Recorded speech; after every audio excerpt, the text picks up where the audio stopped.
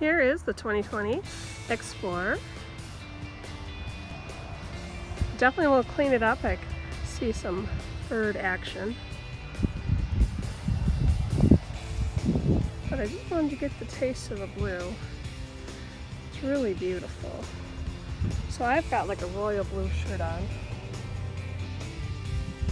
Doesn't match that color.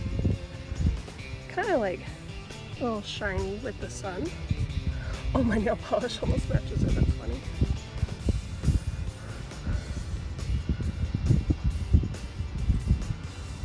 I'll send you some pictures too, but definitely a beautiful color. I like the interior as well. Really nice